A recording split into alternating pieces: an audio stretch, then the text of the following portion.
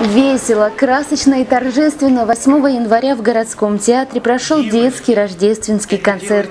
Ангела, вей незримо, славен рождение Христа. Дева склонилась над сыном, сердце ее чистота, кротость, любовь, смирение. Веет дыханием роз, грешной земли во спасение, послан младенец Христос.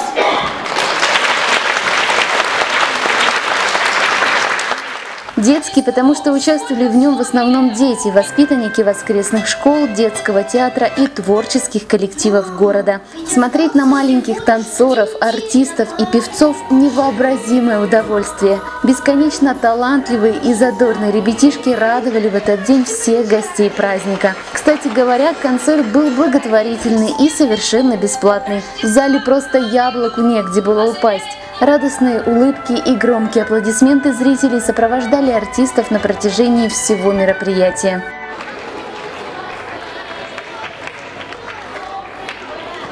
Правда, зрители все же попросили заплатить за этот детский подарок, но не деньгами, а хорошим настроением, добротой, искренностью и честностью по отношению к окружающим людям. Рождественский концерт был организован не только с целью посмотреть на талантливых детей, но и вспомнить, что Рождество – это особый праздник, это праздник мира и добра.